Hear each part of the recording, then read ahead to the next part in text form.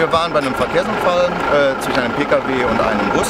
Der Bus befand sich auf einer Leerfahrt, was Gott sei Dank gut für uns war. Ähm, der äh, Fahrer des PKWs wurde im Beinbereich eingeklemmt und wurde von uns äh, patientenorientiert äh, befreit.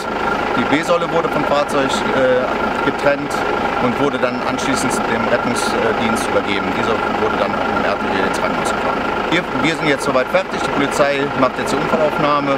Wir können jetzt auch schon, wir haben schon Go gekriegt, dass wir